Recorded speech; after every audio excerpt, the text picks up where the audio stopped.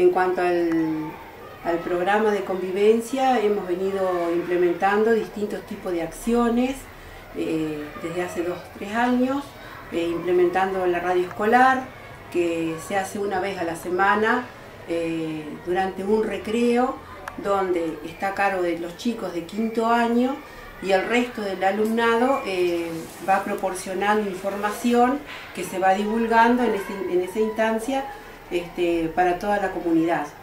Eh, también se hacen este, reuniones con los padres, donde se proyectan videos con distintos tipos de acciones eh, que se van desarrollando a lo largo del, año este, con los chicos. Eh, también se hacen salidas de convivencia, por ejemplo ayer este grupo de quinto fue a cargo de dos o tres docentes a la Defensa Sur para hacer este, una jornada de convivencia. También para el día viernes tenemos programado con sexto año una jornada de convivencia en el Centro Recreativo Río Uruguay. Y cuando detectamos problemas de mayor dificultad, este, tratamos de resolverlos dentro del grupo de docentes eh, y luego convocamos a los tutores este, a través de de distintas reuniones personalizadas o grupales, este, también si hay problemáticas de acuerdo al acuerdo escolar de convivencia, eh, vamos elaborando distintos tipos de actas, actas de compromiso, son tres actas de compromiso eh, inicialmente y luego se pasa a un acta de advertencia. Este, que es eh, donde solicitamos encarecidamente que el alumno eh, modifique su conducta, modifique su actitud. Este, también se le han dado tareas de índole reparatoria en el caso de que se haya efectuado la rotura o daño de algún elemento de la escuela.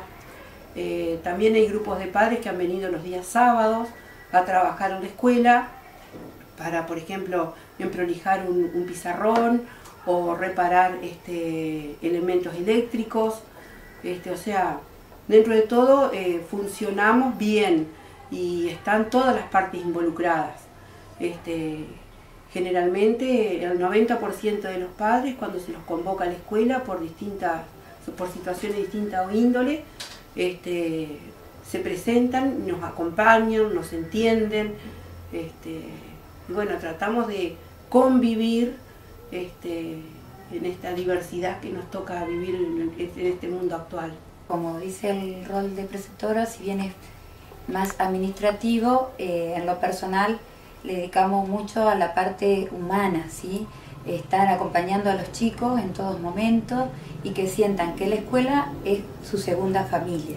Entonces para eso hacemos mucha actividad y que surgen de ellos, como dijo Nora, eh, el tema de la radio surgió para que toda la escuela se conozca. Entonces, en la radio se hablaba de temas institucionales y temas relacionados eh, a, lo que ellos hacían durante eh, su estadía en la escuela, por ejemplo, proyectos de cada aula, alguna actividad extra que tenían que hacer y también se contaba los cumpleaños o algunos agasajos. Eh, ayer con los chicos de quinto que están acá presentes, eh, fuimos a la defensa también para trabajar la convivencia.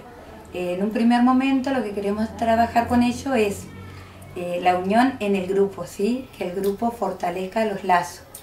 Y después, bueno, iremos implementando otras acciones para lograr esa convivencia con ellos. Siempre esta escuela fue como muy, muy paternal, sobre todo, una escuela que siempre pone una convivencia que siempre nos apoya. Por mi parte siempre pude contar con Estela o con algún otro profesor para contarles cosas.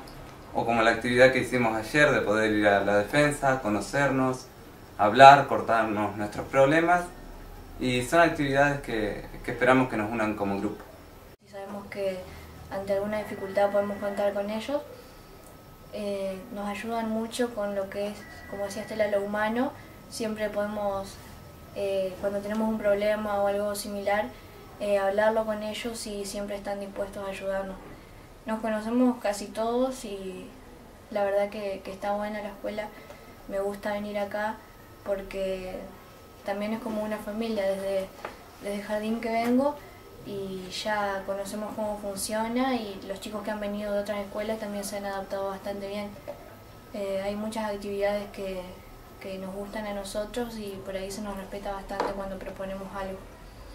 Y eso está bueno. Los chicos vienen y aprendemos, profesores y alumnos juntos.